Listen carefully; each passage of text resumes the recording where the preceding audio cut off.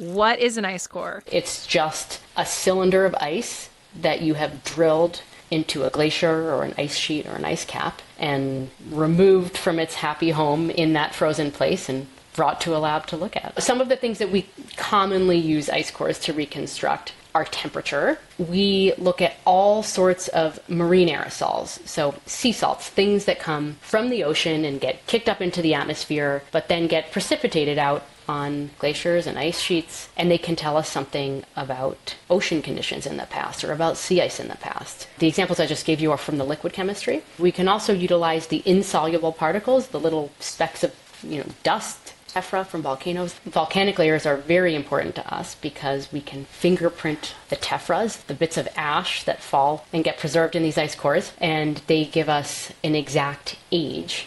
So they give us this tie point in our chronology that we can really rely on. Uh, we know the exact age that that depth is because it's this eruption that happened on this day from this location. There's also, of course, the air bubbles that are trapped in the ice. The old hockey stick figure is one that I think a lot of people have seen at this point that shows CO2 since you know the industrial revolution and compared over very long time periods hundreds of thousands of years to past levels of CO2 in the atmosphere that is from an ice core